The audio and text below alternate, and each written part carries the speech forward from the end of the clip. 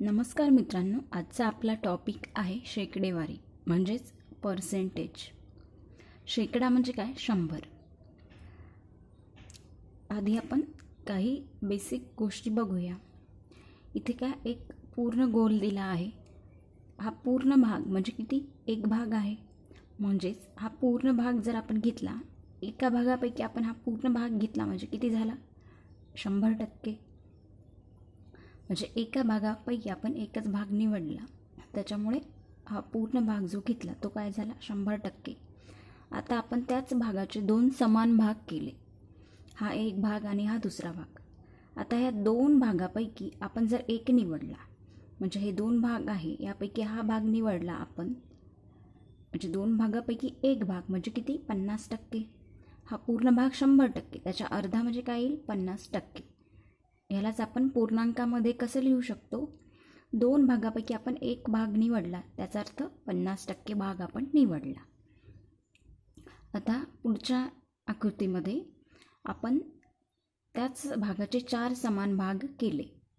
आता त्या चार समान भागापैकी जर आपण एक भाग निवडत असू तर तो भाग म्हणजे काय? पंचवीस टक्के. म्हणजे चार समान भागापैकी एक भाग घेतला आपण तर तो काय दाखवतो? पंचवीस टक्के भाग. आणि यालाच पूर्णांकामध्ये कसं लिहू शकतो आपण? एक छेद चार. पूर्णपैकी पूर्ण भाग घेतला म्हणजे शंभर टक्के. पूर्ण भागापैकी दोन समान भाग केले आणि त्यापैकी एक भाग घेतला म्हणजे पन्नास टक्के. पूर्ण भागापैकी चार समान भाग केले आणि त्याच्यापैकी एक भाग घेतला म्हणजे किती? पंचवीस टक्के. असं तुम्ही कोणत्याही गोष्टीमध्ये करू शकता किंवा कोणत्याही क्वांटिटी किंवा कोणत्याही संख्येसाठी घेऊ शकता. जर आपण शंभरचे शंभर टक्के काय किंवा आपण असं कन्सिडर करू. दहा ही संख्या आहे. किंवा दोनशे कन्सिडर करू. दोनशे दोनशे म्हणजे काय झालं? शंभर टक्के. आता दोनशेचे पन्नास टक्के म्हणजे किती होतील? शंभर. परत दोनशेचे पंचवीस टक्के किती होतील? शंभरपेक्षा अजून अर्धे म्हणजे किती? पन्नास. म्हणजे पूर्ण भागापैकी पूर्ण घेतला म्हणजे शंभर टक्के. पूर्ण भागापैकी अर्धा भाग घेतला म्हणजे पन्नास टक्के आणि पूर्ण भागापैकी चौथा भाग घेतला म्हणजे पंचवीस टक्के. हे हे जसं आपण संख्याच्या बा संख्या घेऊन केलं तसंच हे ह्या आकृतीवरून आपण सांगू शकतो. म्हणजे पूर्णांकामध्ये कसं लिहायचं हे आपण इथे पाहिलं. शंभर टक्के म्हणजे एका भागापैकी एक पूर्ण भाग घेतला. पन्नास टक्के म्हणजे एक छेद दोन. पंचवीस टक्के म्हणजे एक छेद चार. जर आपल्याला असा प्रश्न दिला असेल दोन छेद तीन चे पर्सेंटेजमध्ये रूपांतर करा.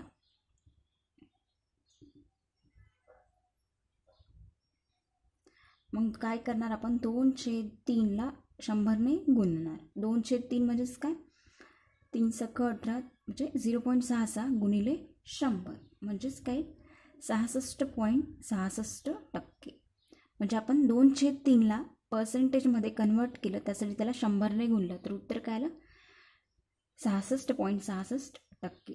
असंच जर विचारलं तीन छेद पाचचे आपल्याला पर्सेंटेजमध्ये रूपांतर करायचं आहे. म्हणजे तीन छेद पाचला आपण शंभरने गुणणार म्हणजेच काय पाच सख तीस गुणिले शंभर. शंभर गुणिले पॉईंट सिक्स म्हणजेच साठ टक्के. म्हणजे इथे किती होईल? साठ टक्के. हे काय पूर्णांक दिलेले आहेत आणि आपण त्याला पर्सेंटेजमध्ये रूपांतर केलं. पूर्णांक दिला होता त्याचं आपण पर्सेंटेजमध्ये रूपांतर केलं. इथे सुद्धा पूर्णांक संख्या दिलेली आहे आणि त्याचं पर्सेंटेजमध्ये आपण इथे रूपांतर केलं. इथे पर्सें पर्सेंटेजवरून तो पूर्णांक काढला. इथे प्रत्येक ठिकाणी आपण पर्सेंटेजवरून पूर्णांक काढला. म्हणजे आपण अशा प्रकारे पूर्णांकाचं रूपांतर पर्सेंटेजमध्ये करू शकतो आणि पर्सेंटेजचं रूपांतर पूर्णांकामध्ये सुद्धा करू शकतो. काही शॉर्ट ट्रिक्स आहेत शेकडेवारी काढण्यासाठी किंवा पर्सेंटेज काढण्यासाठी. प्रत्येकजण वेगवेगळ्या पद्धतीने पर्सेंटेज काढू शकतो. ज्याला जी मेथड सोपी वाटते त्या पद्धतीने आपण पर्सेंटेज काढू शकतो. फक्त फरक इतकाच की आपल्या आपलं उत्तर अचूक यायला पाहिजे आणि कमी वेळेत आपल्याला ते उत्तर मिळायला पाहिजे. त्यानुसार आपण ती ट्रिक वापरू शकतो. किंवा आपण पर्सेंटेज काढण्यासाठी जे सूत्र आहे सरळ सरळ. ते सुद्धा वापरू शकतो. फक्त आपण तेवढ्या फास्टमध्ये अचूक उत्तर काढायला पाहिजे. तर आपण ह्यावरची आता काही शाब्दिक उदाहरणे पाहणार आहोत. आपला पहिला प्रश्न आहे साखरेचा वापर किती पर्सेंटने कमी करावा? म्हणजे किंमत जरी तीस टक्क्याने वाढली तरीही खर्च वाढणार नाही. म्हणजे काय दिलं आहे सपोज आपल्याला महिन्याला पाच किलो साखर लागते. आणि ती पा साखर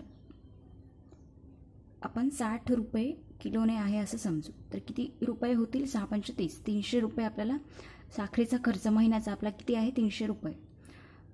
आपल्याला आता काय सांगितलं आहे प्रश्नामध्ये साखरेची किंमत जर तीस टक्केने वाढली आता साठ आहे. साठचे दहा टक्के म्हणजे काय? सहा. आणि तीस टक्के म्हणजे किती होतील? अठरा. म्हणजे साखरेचा भाव तीस टक्क्याने वाढला. इथे. म्हणजे किती? अठराने वाढेल. म्हणजे प प्रति किलोग्राम अठ अठराने वाढेल. म्हणजे काय होऊन जाईल? साठ अधिक अठरा किती होऊन जाईल? अठ्ठ्याहत्तर. म्हणजे आता पाच किलो साखर जर अठ्ठ्याहत्तर रुपयाने आपण घेत असू तर किती होऊन जाईल? एकूण तीनशे नव्वद रुपये. आपण एक उदाहरण घेतलं. जर आपला महिन्याला लागणारा सा महिन्याला लागणारी साखर पाच किलो असेल आणि त्याचा भाव साठ रुपये तर महिन्याला साखरेवरचा खर्च किती? तीनशे रुपये. परंतु आता साखरेचा भाव किती टक्क्याने वाढला? तीस टक्क्याने वाढला. म्हणून प्रति किलो किती रुपये लागतील? अठ्ठ्याहत्तर रुपये लागतील. साखर आपल्याला किती लागते महिन्याला? पाच किलोग्राम. म्हणजे पैसे किती होत आहे तीनशे नव्वद. पण या उदाहरणानुसार आपल्याला काय सांगितलं आहे? की साखरेचा वापर किती पर्सेंटने करी कमी करावा? म्हणजे किंमत जरी तीस टक्क्यांनी वाढली तरीही खर्च वाढणार नाही. म्हणजे या प्रश्नानुसार आपल्याला काय करायचं आहे खर्च आपला महिन्याचा तीनशेच ठेवायचा आहे. परंतु त्यासाठी काय करायचं आहे? आपल्याला साखरे साखरेचा वापर तितका पर्सेंटने कमी करायचा आहे जेणेकरून तीनशे रुपयामध्ये ती सा तो साखरेचा खर्च झाला पाहिजे. म्हणजे खर्च तोच ठेवायचा आहे आपल्याला परंतु फक्त साखरेचा वापर कमी करायचा आहे. आणि तो साखरेचा वापर किती पर्सेंटेजने कमी करायचा आहे हे आपल्याला इथं काढायचं आहे. म्हणजे आपल्याला पाच किलो साखरेसाठी जेव्हा साठ रुपये किलो साखर होती तेव्हा तीनशे रुपये खर्च यायचा. परंतु जेव्हा तीस टक्क्याने साखरेचे भाव वाढले म्हणजे अठ्ठ्याहत्तर झाले तेव्हा आपल्याला पाच किलो साखरेसाठी लागणारा खर्च तीनशे नव्वद रुपये आहे. परंतु प्रश्नामध्ये काय दिलेलं आहे? आपल्याला खर्च आधी होता तोच ठेवायचा आहे तीनशे रुपये परंतु साखरेचा वापर कमी करायचा आहे. तर ती सा तो साखरेचा वापर किती पर्सेंटने कमी करायचा आहे हे आपल्याला काढायचं आहे. जेणेकरून आपला खर्च तोच राहील आणि तो वाढणार नाही. म्हणजे तीनशे नव्वद खर्च न करता आपल्याला तीनशेच खर्च करायचा आहे आणि त्यासाठी किती पर्सेंटने साखर कमी वापरायची आहे हे आपल्याला विचारलेलं आहे. तर त्यासाठी सूत्र आहे जेव्हा प्रश्नामध्ये विचारलं जाते की किती पर्सेंटने कमी करायचं आहे कोणताही प्रश्न असो त्यामध्ये काहीही दिलेलं असेल कोणतीही क्वांटिटी आणि विचारलेलं असेल की किती पर्सेंटने कमी करावं लागेल त्यावेळेस हे सूत्र वापरायचं आहे. म्हणजे पर्सेंटेज कमी करण्याचं पर्सेंटेज काढायचं असेल तेव्हा हे सूत्र वापरायचं आहे.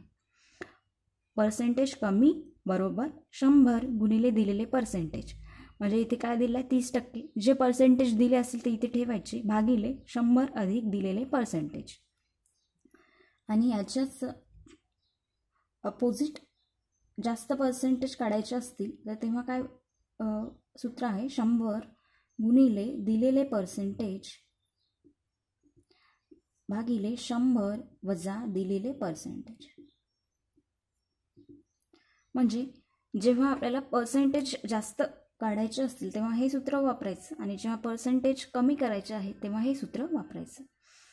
जेव्हा कमी आहे तेव्हा काय? छेदामध्ये बेरीज केलेली दिसते आणि जेव्हा जास्त काढायचं आहे त्याच्या उलट इथे छेदामध्ये वजाबाकी केलेली आहे. फक्त एवढं लक्षात जरी ठेवलं सूत्र सारखंच आहे. फक्त इथे छेदामध्ये बेरीज केलेली आहे कमी विचारलं तेव्हा पर्सेंटेज आणि पर्सेंटेज जास्त विचारलं तेव्हा छेदामध्ये वजाबाकी केलेली आहे. हे दोन सूत्र लक्षात ठेवून आपण डायरेक्ट म्हणजे आपला वेळ वाचवू शकतो आणि डायरेक्ट ते पर्सेंटेज काढू शकतो. तर आपण ह्या प्रश्नात पर्सेंटेज किती पर्सेंटने कमी करायचं आहे कसं करू काढू शकतो हे आपण पाहूया. पर्सेंटेज कमी बरोबर. शंभर गुणिले दिलेले पर्सेंटेज दिलेले पर्सेंटेज किती? तीस टक्के. म्हणजे तीस भागिले शंभर अधिक तीस. म्हणजेच काय होईल? शंभर गुणिले तीस भागिले एकशे तीस. तीनशे भागिले तेरा. आणि तीनशे भागिले तेराच म्हणजे तेवीस. म्हणजे आपल्याला किती पर्सेंटने कमी करावं लागेल साखरेचा वापर तर तेवीस टक्क्याने साखरेचा वापर आपल्याला कमी करावा लागेल. जेणेकरून आपला खर्च किती राहील? तेवढाच राहील.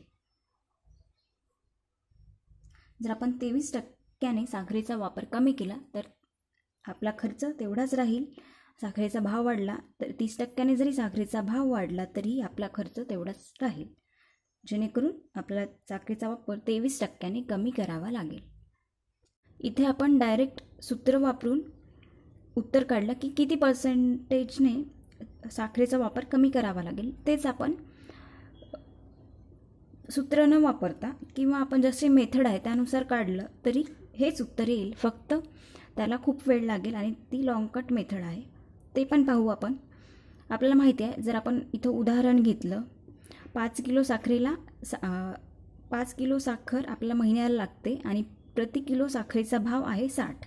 म्हणजे महिन्याला आपल्याला तीनशे रुपये लागतील. परंतु आता तीस टक्क्याने साखर वा साखरेचा भाव वाढला म्हणजे साठ अधिक अठरा अठ्ठ्याहत्तर होतील. साठचे तीस टक्के म्हणजे अठरा. आणि आता भाव तीस टक्क्याने वाढला म्हणजे प्रति किलोग्राम अठ्ठ्याहत्तर रुपये झाले म्हणजे पाच गुणिले अठ्ठ्याहत्तर बरोबर तीनशे नव्वद रुपये खर्च झाला. पण आता आपल्याला प्रश्नानुसार काय करायचं आहे आपल्याला खर्च तीनशेच ठेवायचा आहे. परंतु साखरेचा वापर आपल्याला कमी करायचा आहे.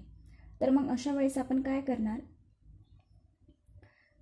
आता तीनशे रुपयामध्ये अठ्ठ्याहत्तर किलो ग्रॅमने साखर किती येईल? आपण ते काढू शकतो. म्हणजे जर अठ्ठ्याहत्तर रुपये किलो साखर असेल तर तीनशे रुपयामध्ये किती किलो साखर येईल हे आपण काढू शकतो. तीनशे भागेला अठ्ठ्याहत्तर बरोबर तीन पॉईंट आठ चार. जर हा भागाकार केला तर आपल्याला हे उत्तर मिळेल. म्हणजे आपल्याला जर आपण अठ्ठ्याहत्तर रुपये किलोने साखर आणत असू अठ्ठ्याहत्तर रुपये पर के जीने साखर आणू तेव्हा आपल्याला तीनशे रुपयामध्ये किती किलो साखर मिळते? तीन पॉईंट आठ चार के जी साखर मिळते. म्हणजे जर आपल्याला खर्च तीनशेच रुपये ठेवायचा आहे तर आपल्याला किती किलो साखर वापरावी लागेल महिन्याला? तीन पॉईंट आठ चार किलो आठ चार किलोग्राम साखर वापरावी लागेल. म्हणजेच पाच वजा तीन पॉईंट आठ चार बरोबर एक पॉईंट एक सहा के जी म्हणजे आपल्याला महिन्याचा साखरेचा वापर असेल तीन पॉईंट आठ चार किलोग्राम जर साखरेचे भाव तीस टक्क्याने वाढले तर आपल्याला इतकी साखर महिन्याला वापरावी लागेल. म्हणजेच एक पॉईंट सोळा किलोग्राम साखर आपल्याला कमी करावी लागेल. इतकी साखरेचा वापर कमी करावा लागेल. तर एक पॉईंट सोळा म्हणजेच किती टक्के आहे हे आपण काढू शकतो. पाचचे एक पॉईंट सोळा म्हणजे किती टक्के आहे? तर ते किती येतील? तेवीस टक्के. तुम्ही हे काढून पाहू शकता. तेवीस बरोबर छेद पाच गुणिले शंभर. यावरून तुम्ही एक्सची किंमत काढली तर तुमचं उत्तर येईल एक पॉईंट एक पाच. म्हणजे जे की किती असेल? याच्या नियर अबाउट एक पॉईंट एक सहा म्हणजेच एक पॉईंट एक पाच के जी म्हणजे ह्याच्यावरून आपण सांगू शकतो जर साखरेचा भाव तीस टक्क्याने वाढला आपल्याला खर्च तीसशे तीनशेच करायचा आहे साखरेचा भाव तीस टक्क्याने वाढला तरी म्हणून आपण सांगू शकतो तीनशे रुपयामध्ये अठ्ठ्याहत्तर रुपये किलोची साखर किती किलोग्राममध्ये किती किलो येईल तर तीन पॉईंट चार तीन पॉईंट आठ चार किलोग्राम साखर येईल. म्हणजे आपल्याला महिन्याला तेवढी साखर वापरायची आहे जेणेकरून आपला खर्च तेवढाच राहील. म्हणजे किती कमी करायची आहे? पाच किलो आपण आधी वापरत होतो तर पाचमधून तीन पॉईंट आठ चार वजा केले तर किती ते एक पॉईंट सोळा किलोग्राम. म्हणजे एक पॉईंट सोळा किलोग्राम आपल्याला साखर महिन्याला तिचा वापर कमी करावा लागेल. आता एक पॉईंट सोळा पाच किलोग्रामचे एक पॉईंट सोळा किलोग्राम म्हणजे किती टक्के होतात? तेवीस टक्के. हे आपण इथं काढलं.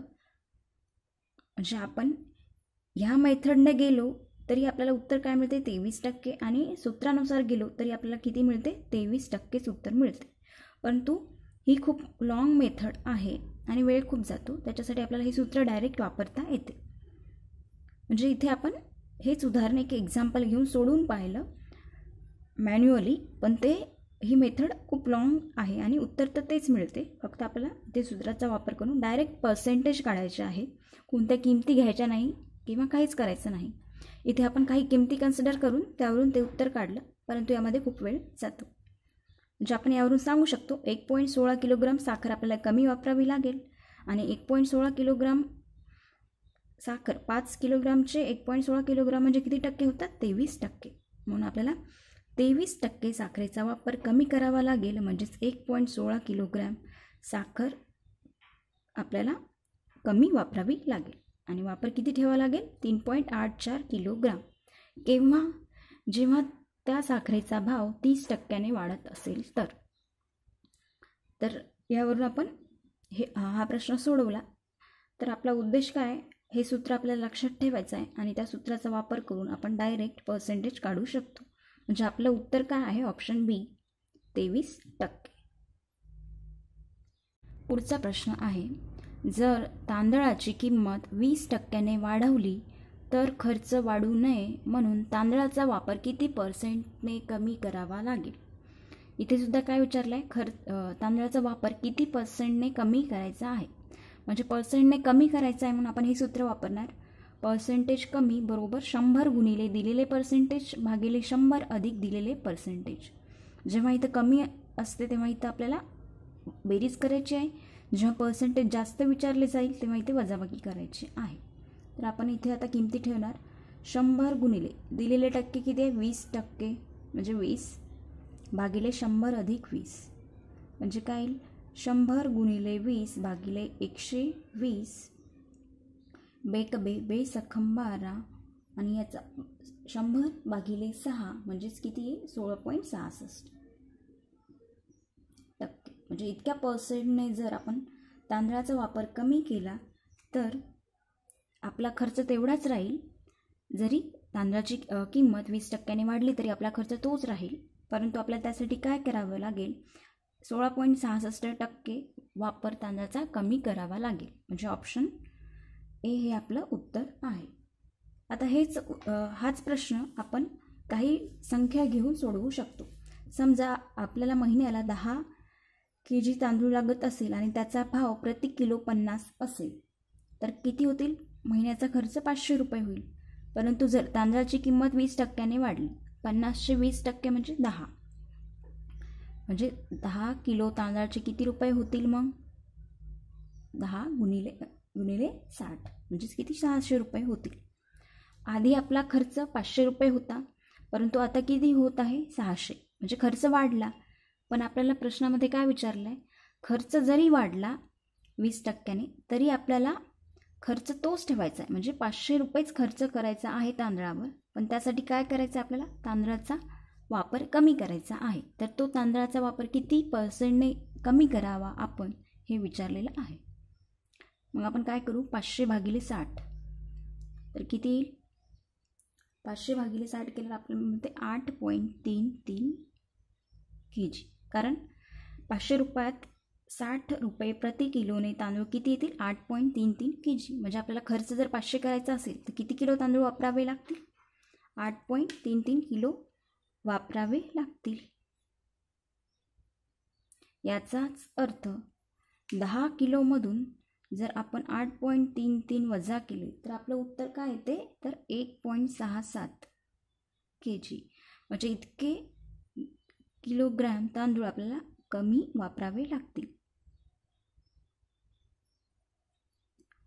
जर पाचशेच रुपये खर्च जरी तांदळाचा भाव वीस टक्क्याने वाढला तरी आपल्याला पाचशेच रुपये खर्च करायचे असतील तांदळावर तर आपल्याला महिन्याला किती रुपये किती तांदूळ घ्यावे लागतील? तर आठ पॉईंट तीन तीन किलो तांदूळ वापरावे लागतील. त्याचाच अर्थ एक पॉईंट सहा सात किलोग्राम तांदूळ कमी वापरावे लागतील. पण आपलं इथं उत्तर आपण पर्सेंटेजमध्ये काढलं. तर आपण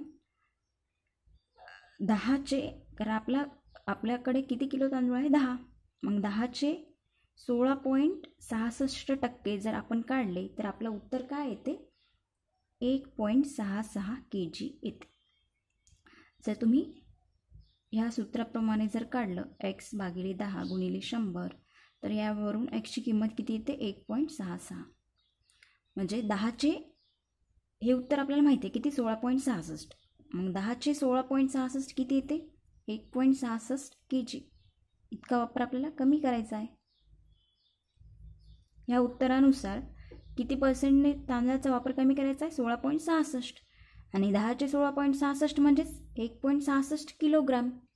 म्हणजे इथे सुद्धा आपल्याला किती कमी वापर करायचा आहे? या मेथडनुसार काय आलं उत्तर? एक पॉईंट सदुसष्ट किलोग्राम आपल्याला तांदूळ कमी वापरावे लागतील.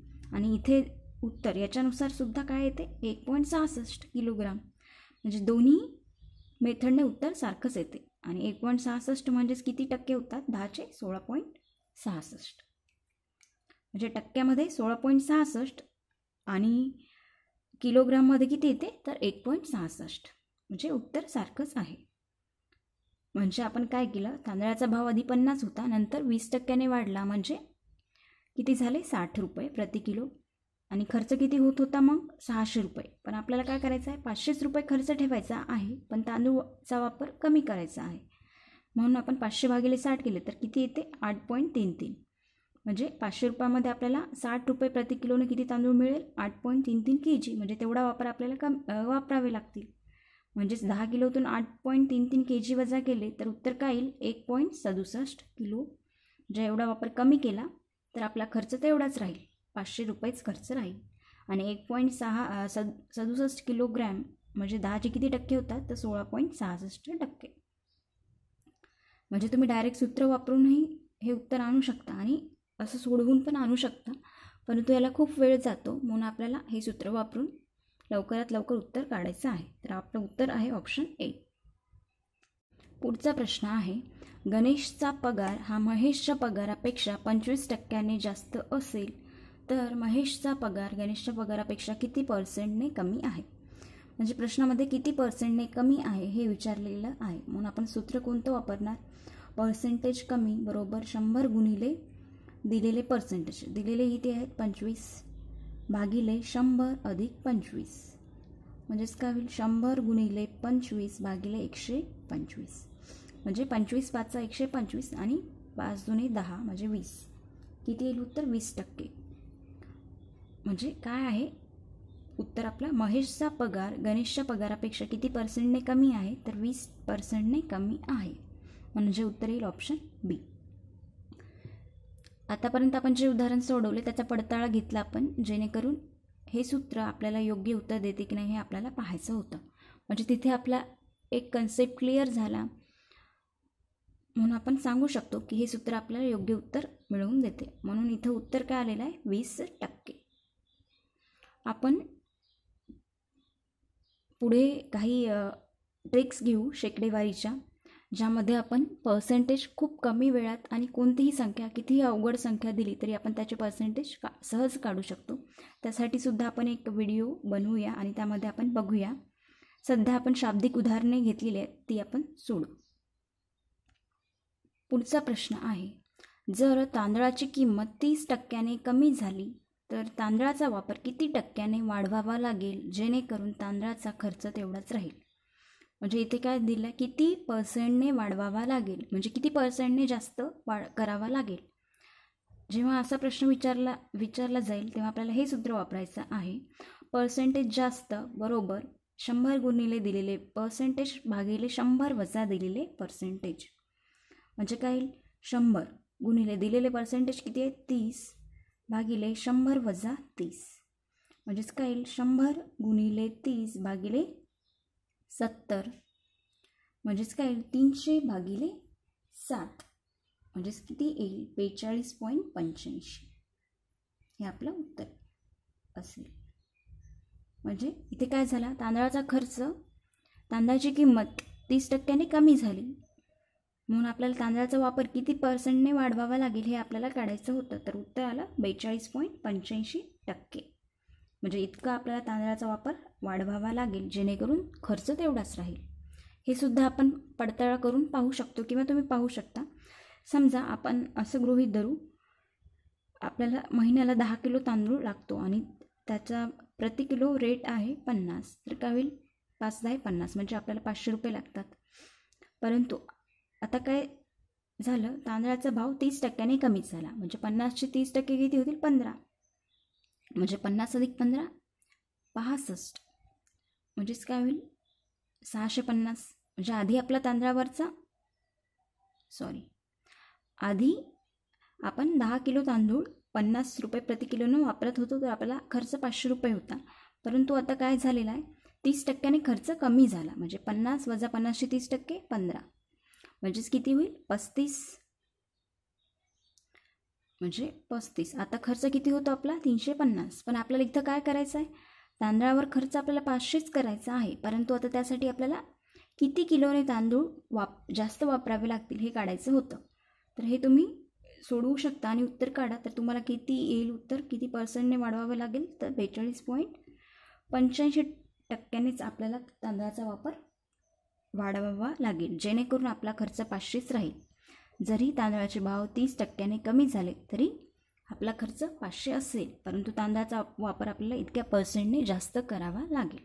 म्हणजे आपलं ऑप्शन उत्तर काय असेल? ऑप्शन सी हे आपलं योग्य उत्तर असेल. आपला पुढचा प्रश्न आहे राम आणि श्याम हे दोन व्यक्ती ग्रामपंचायत निवडणूकमध्ये उभे होते. या निव निवडणूकमध्ये श्याम यांना एकूण मतापैकी किती टक्के मते मिळाली? पंचवीस टक्के मते मिळाली. आणि राम यांना शंभर मते जास्त पडून ते विजयी झाले. तर या निवडणूकमध्ये एकूण किती लोकांनी मतदान केले हे आपल्याला काढायचं आहे. म्हणजे श्याम श्याम यांना एकूण किती मते मिळाली? श्याम यांना मिळालेली मते तर किती आहेत त्यांना मिळालेली मते? पंचवीस टक्के. आणि दुसरं काय दिलं आहे राम यांना शंभर मते जास्त मिळाली. जर आपण असं गृहित धरू शकतो जर शंभर टक्के मतदान झालं असेल जर शंभर टक्के मतदान झालं त्यापैकी श्याम यांना मिळाले किती मते आहेत? पंचवीस टक्के. मग उरलेली पंच्याहत्तर टक्के मते कोणाला मिळाले असतील? राम यांना. मग आपण असं सांगू शकतो रा श्याम यांना जर पंचवीस टक्के मत मिळालेले असतील तर राम यांना किती टक्के मत मिळाले असतील? किती? पंच्याहत्तर टक्के मत मिळाले असतील. परंतु काय दिलेलं आहे? राम यांना शंभर मते जास्त पडल्यामुळे ते विजयी झाले. म्हणजे ह्या दोघांमध्ये कितीचा फरक आहे? श्याम आणि राममध्ये शंभर मतांचा फरक आहे. त्यामुळेच काय झाले? राम यांना शंभर मत जास्त मिळाले म्हणून ते विजयी झाले. म्हणजे या दोघांच्या मतांमध्ये कितीचा फरक पडला? शंभर. मग आपण असं लिहू शकतो. पंच्याहत्तर वजा पंचवीस बरोबर शंभर. तर पंच्याहत्तर वजा पंचवीस म्हणजे पंच्याहत्तर टक्के वजा पंचवीस टक्के म्हणजेच किती होत आहेत? शंभर. मग हेच आपल्याला कसं लिहिता येईल? पंच्याहत्तर वजा पंचवीस म्हणजेच पन्नास टक्के. म्हणजे याच्यावर आपल्याला काय मिळते पन्नास टक्के म्हणजे शंभर. आणि शंभर टक्के म्हणजे किती होईल यावरून? पन्नास टक्के म्हणजे शंभर. तर शंभर टक्केमध्ये म्हणजे शंभर अधिक शंभर दोनशे. मग आपण सांगू शकतो एकूण किती लोकांनी मतदान केलं? तर दोनशे लोकांनी इथे मतदान केलं. प्रश्नामध्ये काय सांगितलं होतं? की श्याम यांना एकूण किती मिळ मते मिळाली? पंचवीस टक्के. जर त्यांना पंचवीस टक्के मते मिळाली असतील उरलेली मते राम यांना मिळालेली असतील. म्हणजे राम यांना मिळालेली मते किती असतील? पंच्याहत्तर टक्के. परंतु काय सांगितलं की राम यांना शंभर मते जास्त मिळाली. म्हणजे श्यामपेक्षा राम यांना शंभर मते जास्त मिळाली. त्याच्यामुळे काय झाले? राम विजयी झाले. म्हणजे या दोघांमध्ये किती मतांचा फरक आला? शंभर. म्हणून आपण काय केलं? पंच्याहत्तर टक्के वजा पंचवीस टक्के बरोबर शंभर. पंच्याहत्तर वजा पंचवीस म्हणजे पन्नास टक्के. म्हणजे आपल्याला काय मिळालं? पन्नास टक्के म्हणजे शंभर. मग यावरून आपण शंभर टक्के म्हणजे किती काढू शकतो? दोनशे. म्हणजे एकूण किती लोकांनी मतदान केलं? दोनशे लोकांनी मतदान केलं. आणि श्याम हे राम हे किती मतांनी विजयी झाले? शंभर मतांनी विजयी झाले म्हणजे किती? पन्नास टक्के मतांनी ते विजयी झाले. हे आपलं आपण सांगू शकतो. म्हणजे इथे आपलं उत्तर आलं ऑप्शन ए दोनशे. म्हणजे एकूण किती लोकांनी मतदान केलं? तर दोनशे लोकांनी मतदान केलं. पुढचा प्रश्न आहे सीताला गीतापेक्षा वीस टक्के कमी गुण मिळाले तर गीताला किती टक्के गुण जास्त मिळाले? म्हणजे किती टक्के जास्त गुण मिळाले हे आपल्याला काढायचं आहे. म्हणजे सूत्र कोणतं वापरायचं? पर्सेंटेज जास्त. बरोबर शंभर गुणिले दिलेले पर्सेंटेज भागिले शंभर वजा दिलेले पर्सेंटेज म्हणजे इथे जास्त जेव्हा विचारलं जाते तिथं तेव्हा आपल्याला छेदामध्ये वजाबाकी घ्यायची आहे आणि जेव्हा पर्सेंटेज कमी काढायची असते तेव्हा छेदामध्ये बेरीज करायची असते. मग आपण इथे किमती ठेवू. शंभर गुणिले किती टक्के दिले आहेत वीस. भागिले शंभर वजा वीस.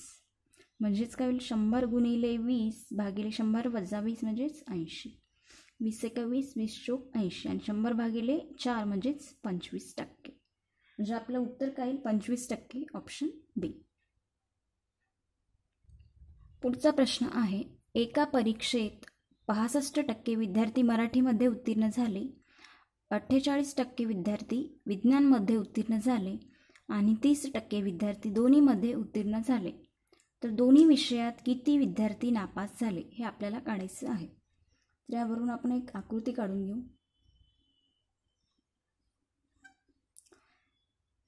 हे मराठीत उत्तीर्ण असलेले विद्यार्थी दाखवत असेल असं आपण समजू हा वर्तुळ आणि हा वर्तुळ विज्ञानमध्ये उत्तीर्ण असलेल्या विद्यार्थ्यांची संख्या दाखवते असं आपण समजू. मग मराठीमध्ये उत्तीर्ण विद्यार्थी किती आहेत? पासष्ट टक्के. आणि विज्ञान विषयात उत्तीर्ण असणारे विद्यार्थी अठ्ठेचाळीस टक्के. आणि तसेच विज्ञान आणि मराठी दोन्हीमध्ये किती टक्के विद्यार्थी पास आहेत? तर तीस टक्के. म्हणजे हा जो कॉमन भाग आहे या दोन्ही वर्तुळाचा तो काय दाखवतो? दोन्ही विषयात पास असले विद्यार्थी म्हणजे मराठी विषयात सुद्धा उत्तीर्ण आहेत आणि विज्ञान विषयात सुद्धा उत्तीर्ण आहेत. आणि ते किती टक्के आहेत? तीस टक्के. पासष्ट टक्के विद्यार्थी मराठी विषयात उत्तीर्ण आहेत. म्हणजे हा पूर्ण वर्तुळ काय दाखवतो? पासष्ट टक्के विद्यार्थी जे मराठी विषयात उत्तीर्ण आहेत. हा पूर्ण वर्तुळ दाखवतो जे अठ्ठेचाळीस टक्के विद्यार्थी विज्ञान विषयात उत्तीर्ण आहेत. आणि दोन्ही विषयात उत्तीर्ण असलेले हा जो कॉमन भाग आहे तो दाखवतो. मग आपण यावरून फक्त मराठीमध्ये उत्तीर्ण असलेले विद्यार्थी काढू शकतो.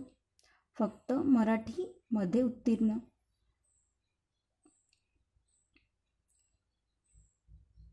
फक्त मराठीमध्ये उत्तीर्ण असलेले विद्यार्थी आपण काढू शकतो. म्हणजे पासष्ट टक्के. वजा हे तीस टक्के. म्हणजे आपल्याला काय मिळून जाईल? तीस टक्के विद्यार्थी दोन्ही विषयात उत्तीर्ण आहेत. म्हणजे तीस टक्के विद्यार्थी मराठीमध्ये सुद्धा उत्तीर्ण असतील आणि विज्ञानमध्ये सुद्धा. त्याच्यामुळे जर आपण पासष्ट टक्केमधून तीस टक्के वजा केले तर आपल्याला काय मिळेल? फक्त मराठीमध्ये उत्तीर्ण असलेले विद्यार्थी. म्हणजे पासष्ट टक्के वजा तीस टक्के म्हणजे पस्तीस टक्के. म्हणजे पस्तीस टक्के विद्यार्थी फक्त मराठी विषयामध्ये उत्तीर्ण असतील. त्याचप्रमाणे आपण फक्त विज्ञानमध्ये उत्तीर्ण असलेले विद्यार्थीसुद्धा काढू शकतो. फक्त विज्ञान उत्तीर्ण असलेले विद्यार्थी. कारण हा भाग आहे? या दोन्हींसाठी कॉमन आहे. जर फक्त आपल्याला ह्या भागाची किंमत काढायची असेल तर काय करावं लागेल? हा भाग यातून वजा करावा लागेल. त्याच्यासाठी आपण काय केलं? पासष्ट टक्के म्हणजे पूर्ण वर्तू पासष्ट टक्क्यामधून हा कॉमन भाग तीस टक्के वजा केला तर आपल्याला हा पोर्शन मिळेल प्युअर मराठीतील पास असणाऱ्या विद्यार्थ्यांचा. म्हणून आपल्याला किती मिळाले? पस्तीस टक्के विद्यार्थी हे फक्त मराठीमध्ये पास आहेत. त्याचप्रमाणे फक्त विज्ञानमध्ये उत्तीर्ण असणारे विद्यार्थी म्हणजेच अठ्ठेचाळीस टक्के वजा तीस टक्के. म्हणजेच किती होईल? अठरा टक्के. म्हणजे हा जो भाग आहे इकडला हा किती झाला? अठरा टक्के. म्हणजे जे विद्यार्थी अठरा टक्के विद्यार्थी फक्त विज्ञानमध्ये उत्तीर्ण आहेत. मग यावरून आपण सांगू शकतो. फक्त मराठीत उत्तीर्ण विद्यार्थी पस्तीस टक्के. फक्त विज्ञानमध्ये उत्तीर्ण विद्यार्थी अठरा टक्के. आणि फक्त दोन्ही विषयात उत्तीर्ण विद्यार्थी किती आहेत? तीस टक्के. म्हणजे हे झाले विद्यार्थी जे उत्तीर्ण विद्यार्थी आहेत मग एकूण उत्तीर्ण विद्यार्थी आपण यावरून काढू शकतो. एकूण उत्तीर्ण विद्यार्थी म्हणजे फक्त मराठीत उत्तीर्ण विद्यार्थी अधिक फक्त विज्ञान विषयात उत्तीर्ण विद्यार्थी आणि अधिक दोन्ही विषयात उत्तीर्ण असलेले विद्यार्थी म्हणजे तीस टक्के. या तिघांची बेरीज किती? त्र्याऐंशी टक्के. म्हणजे यावरून आपण असं सांगू शकतो की त्र्याऐंशी टक्के विद्यार्थी हे एकूण उत्तीर्ण विद्यार्थी आहेत. म्हणून जर शंभर टक्के विद्यार्थी पेपरला बसले असतील परीक्षेला बसले असतील तर त्यापैकी त्र्याऐंशी टक्के हे उत्तीर्ण विद्यार्थी आहेत. म्हणजे शंभर टक्के वजा त्र्याऐंशी टक्के म्हणजेच किती येईल? सतरा टक्के हे विद्यार्थी काय झाले असतील तर अनुत्तीर्ण झालेले असतील. म्हणून हे अनुत्तीर्ण विद्यार्थी म्हणजे जे नापास झालेले विद्यार्थी किती आहेत? सतरा टक्के. म्हणून आपलं उत्तर असेल ऑप्शन बी. आपल्याला माहीत होतं की मराठी विषयात उत्तीर्ण असणारे पासष्ट टक्के विद्यार्थी विज्ञानमध्ये उत्तीर्ण असणारे अठ्ठेचाळीस टक्के विद्यार्थी आणि दोन्ही विषयात उत्तीर्ण असणारे तीस टक्के. त्यावरून आपण फक्त मराठी उत्तीर्ण विद्यार्थी काढले फक्त विज्ञान उत्तीर्ण विद्यार्थी काढले आणि दोन्हीमध्ये उत्तीर्ण असणारे विद्यार्थी आपल्याला दिलेले आहेत. म्हणून हे ह्या तिघांची बेरीज म्हणजे एकूण उत्तीर्ण विद्यार्थी मिळाले. परीक्षा दिलेल्यापैकी उत्तीर्ण विद्यार्थी जर आपण वजा केली तर उरलेले काय असतील? अनुत्तीर्ण म्हणजेच नापास झालेले विद्यार्थी. आणि आपलं उत्तर काय आलं? सतरा टक्के म्हणजेच ऑप्शन बी पुढचा प्रश्न आहे एका परीक्षेत एकूण विद्यार्थ्यांच्या पस्तीस टक्के विद्यार्थी मराठीमध्ये उन अनुत्तीर्ण आहेत. आधीच्या प्रश्नात उत्तीर्ण दिलं होतं इथे अनुत्तीर्ण दिलेलं आहे. पस्तीस टक्के विद्यार्थी मराठीमध्ये अनुत्तीर्ण पंचेचाळीस टक्के विद्यार्थी हिंदीमध्ये अनुत्तीर्ण आणि वीस टक्के विद्यार्थी दोन्ही विषयात अनु अनुत्तीर्ण आहेत. तर आपल्याला दोन्ही विषयात उत्तीर्ण विद्यार्थी काढायचे होते आहेत. मागच्या प्रश्नामध्ये आपल्याला दोन्ही विषयात उत्तीर्ण अनुत्तीर्ण विद्यार्थी काढायचे होते यामध्ये उत्तीर्ण विद्यार्थी काढायचे आहे. म्हणजे आपण आकृती काढू शकतो. हे जर मराठीत अनुत्तीर्ण विद्यार्थी असतील किती? पस्तीस टक्के. हा वर्तुळ आपल्याला हिंदीमध्ये अनुत्तीर्ण विद्यार्थी दाखवत असेल किती? पंचेचाळीस टक्के. आणि हा कॉमन भाग म्हणजे दोन्ही विषयात अनुत्तीर्ण विद्यार्थी. किती? वीस टक्के. मग यावरून आपण काढू शकतो. फक्त मराठीत अनुत्तीर्ण विद्यार्थी काढू शकतो. पुन्हा फक्त हिंदीमध्ये अनुत्तीर्ण विद्यार्थीसुद्धा आपण काढू शकतो. आणि आपल्याला दोन्हीमध्ये अनुत्तीर्ण विद्यार्थी माहिती आहे. मग या तिघांची बेरीज जी एल ती ती शंभर टक्केमधून जर वजा केली आपण तर आपल्याला जे उत्तर मिळते ते काय असेल? आपलं उत्तर. म्हणजे ते विद्यार्थी तेवढे विद्यार्थी परीक्षेत उत्तीर्ण झालेले असतील आणि ही जी बेरीज असेल ती काय असेल? तेवढे विद्यार्थी एकूण विद्यार्थी परीक्षेत अनुत्तीर्ण झालेले असतील. तर तुम्ही हा प्रश्न सोडवा आणि याचं उत्तर काय येते ते पहा. त्याचं उत्तर चाळीस टक्के यायला पाहिजे. तुम्ही हा प्रश्न सोडवून पाहू शकता. तर आपण पुढच्या व्हिडिओमध्ये आपण एक नवीन टॉपिक घेऊया आणि त्यावरील प्रश्न बघूया.